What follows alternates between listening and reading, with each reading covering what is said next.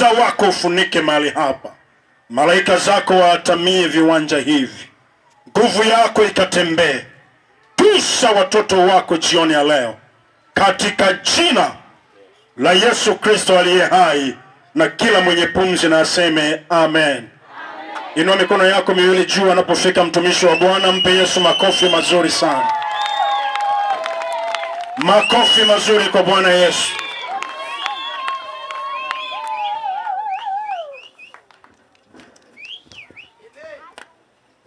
Wageni waliofika leo jina langu naitwa moses.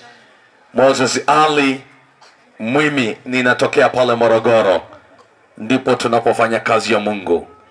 Nimetoka nimeongozana tu na hawa waimbaji wa ambayo tunawaona hapa fpct eh, kutoka pale singida wilaya ya ikungi kijiji fulani kinaitwa nkuhi. Ndani ndani huko lakini wanafanya vizuri. Tumekuwa tukizunguka nao huku na kule na leo imempendeza bwana tuweko hapa. Naomba nikuletee ujumbe wa leo. Mwambie mwenzako leo nataka nizungumze damu ya yesu. Mwambie damu ya yesu. Fungua katika Waebrania sura ile ya kumi. Tutaanza mstari wa pili. Mstari wa pili. Hadi mstari wa ya nafikiri ni ukisoma vizuri historia hii soma mpaka mstari wa kumi na tano utasoma wewe lakini mi nitasoma ki, kiasi fulani nitakwenda kusoma kwa msaada wa roho mtakatifu. Kama ndivyo je zabihu azikokoma kutolewa kwa maana wabuduo wakisha kusafishwa mara moja wasingejiona tena kuwa na dhambi. Lakini katika dhabihu hizo liko kumbukumbu la dhambi la kila mwaka. Maana haiwezekani damu ya fahari ya mbuzi kuondoa dhambi. Kwa hiyo ajapo ulimwenguni asema zabihu zabihu zabihu zabihu unatolewa kutaka lakini mwili uliwekwa tayari kwa sadaka za kuteketezwa na sadaka za dhambi hukupendezwa nazo. Ndipo niliposema tazama nimekuja katika gomo la chuo. Nimeandikwa niyafanye mapenzi yako mungu. Hapo juu semapo dhabihu na matoleo na sadaka za kuteketezwa hizo za dhambi hukuzitaka wala kupendezwa nazo zitolewazo kama ilivyoamuru torati. Tumesoma katika kitabu cha webrania tumesoma juu ya habari ya kanuni ambayo iliwekwa kama mjibu wa torati. Na nikisema habari ya torati maana yake nazungumzia sheria. Kitabu cha torati ni sheria.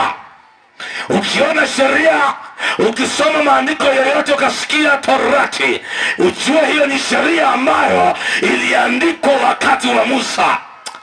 Biblia yangu inasema hivi watu waliagizwa agano la kale. Watoe sadaka za kuteketezwa. Sadaka ambazo zikitolewa ili wapate msamaha ama wapate kuponywa magonjwa yao lakini biblia yangu inasema ya kwamba bado kulikwepo na kumbukumbu ya dhambi la kila mwaka. Hata kama watu walijitahidi walitoa sadaka zao walitoa kwa kila mwaka lakini bado kulikweko na kumbukumbu ya kila mwaka. Biblia yangu inasema hivi torati iliamuru watu watoe sadaka za kuteketezwa lakini bado walipotoa sadaka zao ilipokubalika moshi ukienda juu uki, ukienda juu bila kusambaa maana yake sadaka yako imekubaliwa na wewe unakubaliwa. Lakini bado kulikuwepo na kumbukumbu la dhambi. Ukisoma katika isaya biblia inasema isaya zambi zilikuwa zinafunikwa. Zambi zilikuwa zinafunikwa yaani ukifanya vizuri dhambi inafunikwa. Ukikosea dhambi yako inafunuliwa tena. Biblia inasema ndipo akasema maana fahari ya mbuzi haiwezi kuondoa dhambi. Fahari ya mbuzi haiwezi kuondoa dhambi. Wala fahari ya ng'ombe wala fahari ya punda wala fahari ya kondoo haiwezi kuondoa dhambi. Akasema ya kwamba ndipo aliposema ya kwamba litashuka katika gombo la chuo niyafanye mapenzi ya baba. Aliondoa lile la kwanza ili alisimamisha la pili.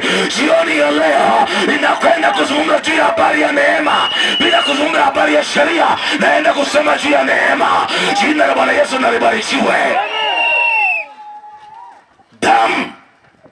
Ziko daraja tatu za damu. Iko daraja la tatu damu ya mnyama ambayo tumeona katika wabrania biblia yangu inasema ya kwamba damu ya mnyama inapomwagika bado kuna kuwepo na kumbukumbu la dhambi. Wala haiwezi kuondoa dhambi. Hata leo ukienda barabarani unaweza ukakuta wanyama wamegongwa umba wamegongwa hata mpunda wanagongwa ng'ombe wanagongwa ni kwa sababu ni damu za wanyama ni daraja la kawaida ni damu ya kawaida ambayo haina uwezo haina mamlaka haina nguvu ya kuponya. Na ndio maana hata waganga wa kienyeji wanatumia damu za wanyama. Wanaenda kukuagiza lea leta kuku tuchinge leta mbuzi tuchinge tukuje tukuoshe. Maana yake wanajua nguvu ya damu. Jina la bwana yesu nalibarikiwe. Lakini biblia inasema hizo ni damu za wanyama ni za kawaida. Hatiwezi kuondoa dhambi wala haziwezi kuondoa magonjwa ni daraja la kawaida. Jina la bwana yesu nalibarikiwe sitaki kukaa humo kwa sababu ni daraja la kawaida. Hata leo ukienda machinjio machinjio ya wapi? Kahama. Wanyama wengi wamechinjwa wala watu hawajaogopa.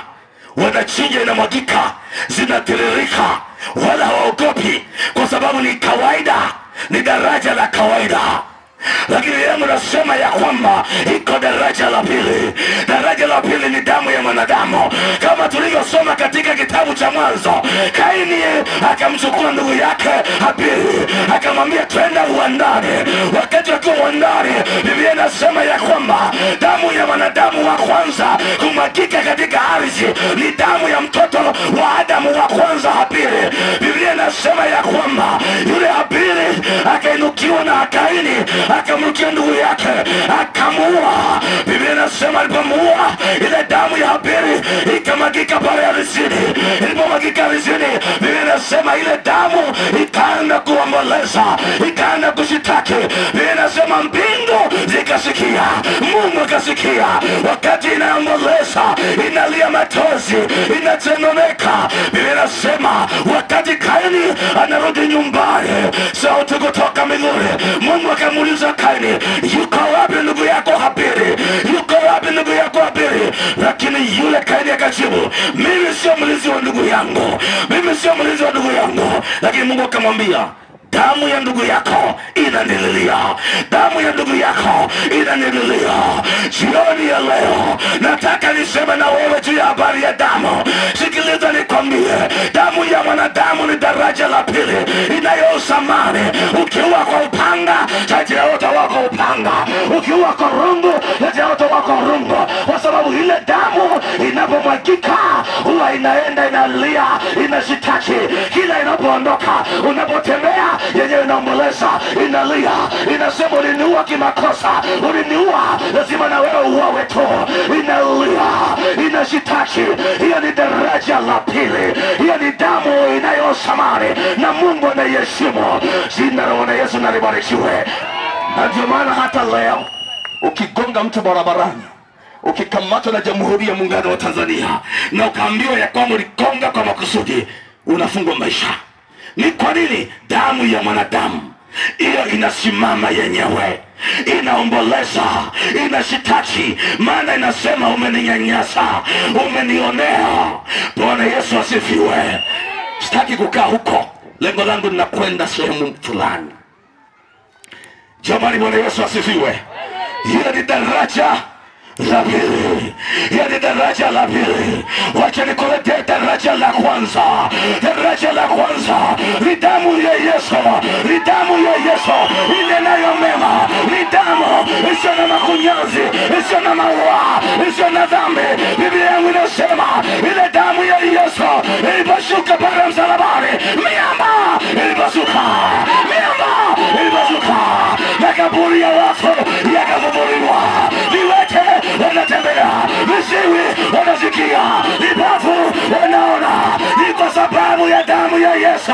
Jioni ya leo iko daraja la kwanza. Ni damu ya yesu. Inenayo mema. Ikishuka leo ugonjwa unakauka, ikishuka mateso yanaondoka. Ikishuka uhai unakuja. Jioni ya leo damu zote zinachusha zote za wanyama zinapita lakini iko daraja la kwanza. Ni damu ya yesu isiyo na dhambi isiyo na mawa oh, haleluya! Oh, haleluya! Ni damu ya yesu peke yake yenye uweza wa kusamehe dhambi yenye uweza wa kuponya mateso yako. Jioni ya leo iko damu ya yesu inenayo mema inenayo itaponya shida yako itaponya magonjwa yako itaponya itasamehe. Hiyo dhambi ulizozitenda jina la bwana yesu nalibarikiwe. Oh, haleluya. Ah. sikia nikwambie leo vitu vyote vinapita vyote vinachucha damu za wanyama zinachucha zile za wanadamu zinachucha lakini biblia yangu inasema ile damu ya yesu iliposhuka pale msalabani biblia inasema ile miamba iliposhika ilipokamata ile damu ikaanza kukimbia yenyewe. Maana inaogopa ile mamlaka iliyoko ndani ya damu. Na jioni ya leo ile damu ikishuka mapepo yatasimuka. Damu ya yesu ikishuka ugonjwa unaondoka. Damu ya yesu ikishuka dhambi inakimbia Ah, ni daraja la kwanza. Jina la bwana yesu nalibarikiwe. Haleluya sikiliza msukuma na mnyamwezi. Iko daraja la kwanza. Ni damu ya yesu peke yake. Yenye kuleta heshima yenye kuleta amani yenye kuleta furaha. Damu zingine zinapita. On. haleluya jina la bwana yesu nalibarikiwe. Jina la bwana yesu nalibarikiwe. Jioni ya leo jioni ya leo mateso niyo nayo shida ulizo nazo mahangaiko uliyo nayo iko daraja la kwanza iko daraja la kwanza ni damu ya yesu iliyo takatifu yenye uweza yenye mamlaka ikisimama magonjwa yote yanaondoka. Jana nilisema hivi yesu ni mwenye mamlaka. Nikasema namna hii ukisimama barabarani hata jinsi wakati nakuja hivi askari mmoja kabidhi kadogo kadogo mimi na ukubwa wangu namna hii. Aliposimama akafanya namna hii nilianza kupunguza kidogo naanza kupinya kidogo. Ananiambia weka hapa. Anafanya namna hii. Nini kilichosababisha? Ni yale mamlaka yaliyoko kwenye mabega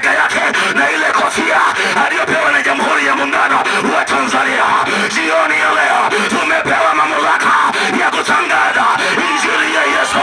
Yenye uweza kutangaza ni mamlaka isiyo na mipaka ni mamlaka yenye uweza jioni ya leo iko daraja la kwanza ni daraja la kwanza ni damu ya yesu peke yake yenye mamlaka isiyo na mipaka. Jina la bwana yesu nalibarikiwe. Oh, haleluya Ah, jioni ya leo. Sikiliza mwanamke. Haijalishi umeumia mara ngapi. Haijalishi umeteseka mara ngapi. Iko daraja la kwanza jioni ya leo. Itakuponya shida yako. Itaponya mateso yako. Italeta uhai. Italeta uzima. Italeta amani. Haleluya jina la bwana yesu nalibarikiwe jina la bwana yesu nalibarikiwe. Fashini za dunia hizi zinapita ndugu. Sikiliza nikuchekeshe hasa fashini za wanawake. Fashini za wanawake zote zinapita. Zote. Tulisoma si wengine tuliona. Kuna wakati fulani wa mama wa zamani watanielewa. Kulikuwa na nguo moja wakiwa wanashona ilikuwa inaitwa skania tisa tisa. Yaani akishona anaonekana ni kama skania lakini inaitwa tisa tisa. Lakini ilipita. Iliondoka hiyo wala haikuweza kukumbukwa tena. Oh, mishono inabadilika. Wakaja mshono wanaita mshadari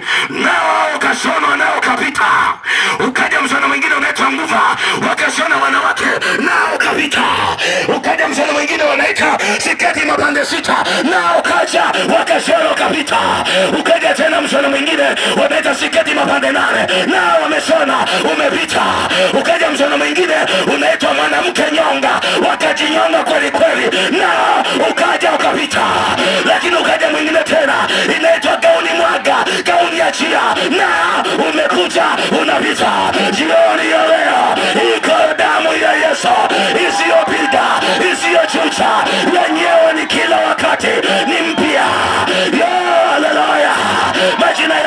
yanapita yanazarahulika lakini iko daraja la kwanza. Ni daraja la kwanza. Ni damu ya yesu isiyosahulika, isiyopita isiyoshusha iko mahali hapa. Itaponya shida yako! Ah!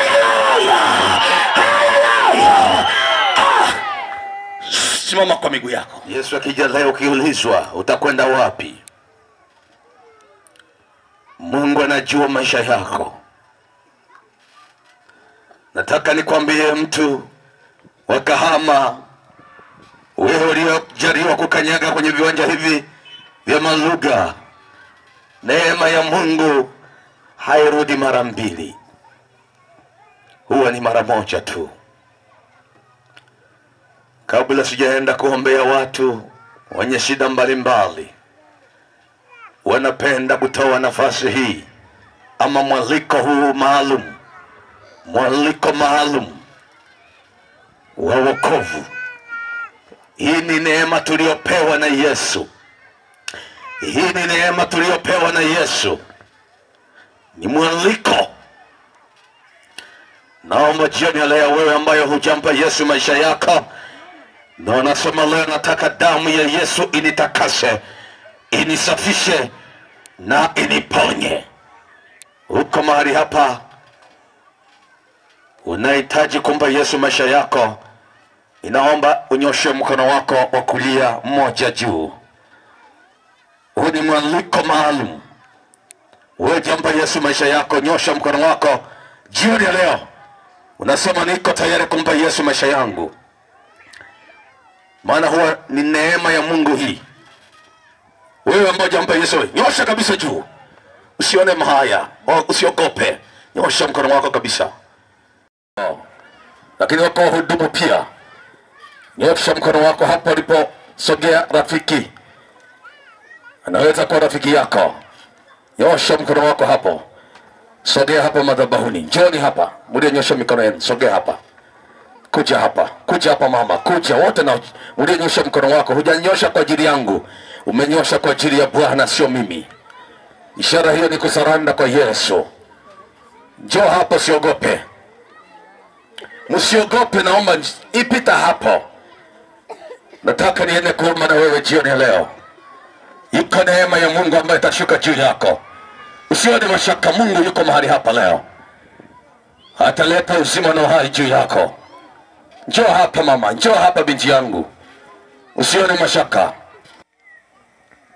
Na ikifikaga saa ya wokovu huwa si waga sina kubembeleza sana siku moja ninahubiri kule nchi moja wanaita afrika kusini kule. Mji fulani wanaita dabani sasa wakati nahubiri pale kulitokea binti moja mrembo sana. Na rafiki yake naye mrembo sana. Nikisema hivi unaweza ukani- ukanielewa vizuri. Maana yake wanajiona ni wazuri kuliko wengine. Lakini wakati huo tunahubiri injili uh, yeye na rafiki yake walikuwa na huyu mmoja alikuwa na promise na my friend wake. Yani sijui mpenzi. Maana kuna majina mengi watu wanaitana. Mara my love mara my sweet mara my honey. Sasa wana promise ya muda fulani. Lakini injili ilinoga. Yile muda anaangalia time. Wanasema time is over. Time is money. Wanaambiana pale. Lakini moja anamwambia embo acha hiyo tukae hapa. Ile binti akusikia baadaye akasema muda wangu umekwisha na rafiki yangu ananisubiri sana. Wakati anaruka kulikuwa na barabara. Wakati anaruka barabara hakuangalia kushoto wala kulia yeye anaangalia ile promise. Mtu mmoja mgogo huwa anampenda anasema mabinti ni kama bajaji. Zinashusha zinapakia yaani mnapangwa foleni sasa sasa na wewe usije ukawa ni mojawapo wa kuwapanga watu foleni njoo kwa yesu. Nizamu irejee uzima ukwe nao. Haleluya usiwe kama bajaji bwana. Sasa binti anaruka barabara. No from where. Gari litokea sijui wapi. Binti yule aligongwa. Saa hiyo hiyo akawa ni chapati. Chapati! Nini kilichosababisha? Alikuwa na maamuzi mawili kwa yesu ama kwa mpenzi. Na shetani hataki mtu aje kwa yesu. Anataka mmalize. Mwana alikuwa anajua huyu kesho atakuja tena. Pale pale rafiki yake aliyemwambia kipenzi hakutokea wala yule rafiki aliyeambatana naye akapotezea kama alikuwa hayuko naye. Yeye anang'ang'ana tu aokoke na yeye. Maana hofu imejengeka. Nataka nikwambie kifo kinakuja mara moja. Hutaingia na rafiki yako wala na mume wako wala na mke wako wala na baba yako. Ni wewe peke yako. Yesu anakupenda mtu wa kahama fumba macho yako mtu wa hapa. Weka mkono moja kwenye moyo mwingine nyosha juu. Alafu utanifuatisha haya maombi mafupi wakati naenda kuomba. Nyinyi mliokuja hapa mbele mtanifuatisha maombi mafupi wakati naendelea hapa. Na wakati ujao tutakwenda kuomba kwa ajili yenu. Sema kwa sauti kuu sema bwana yesu. Bwana Yesu. sema kwa sauti kubwa bwana yesu. Bwana Yesu. naja mbele zako. Nimetambua upendo wako. Na jioni ya leo ninakukiri wewe yesu. Ninakukiri wewe Yesu. uwe bwana. Uwe Bwana. Na mwokozi. Na Mwokozi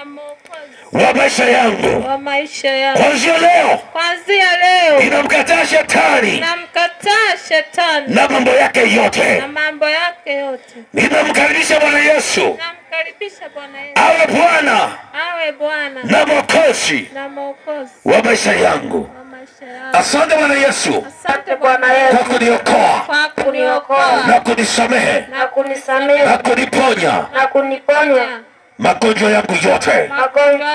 Na shida zangu zote. Zote. maana umesema katika neno lako zaburi ya mia na tatu mstari wa tatu umesema baba Umesema Baba utasamehe dhambi zangu zote na utaponya na magonjwa yote yanisumbuayo yesu nisamehe. Nisamehe, nisamehe. Nisamehe, nipokee sasa. Nipokee sasa, niwe kiumbe kipya. Niwe kiumbe ya kada yamepita. Ya kale kwa jina la yesu. Kwa jina la Yesu. amen. Amen. weka mkono wako hivyo hivyo kwenye moyo. Alafu mwingine nyocha juu wakati tunaenda kuombea watumishi karibuni tuombe. Wakati huo tunaenda kuomba. Wengine ukishuka chini tutaweka mikono pia si mbaya wewe ni Mungu mwenye uwezo na mwenye nguvu. Asante. Ninaachilia damu yako mahali hapa sasa.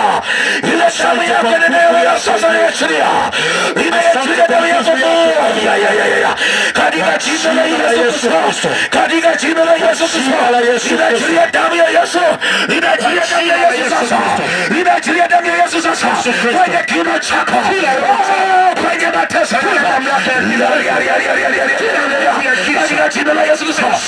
yako. Ya, ya, ya, ya, ya, ya, ya. Katika jina la Yesu Kristo. Ya, ya, ya, ya, ya, ya, ya, ya, ya, ya. Katika jina la Yesu Kristo.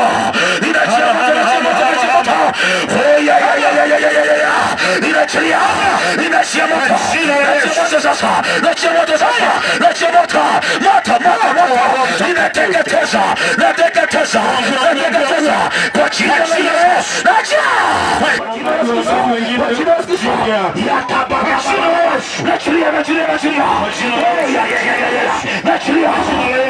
sasa. Nachilia nguvu Moto!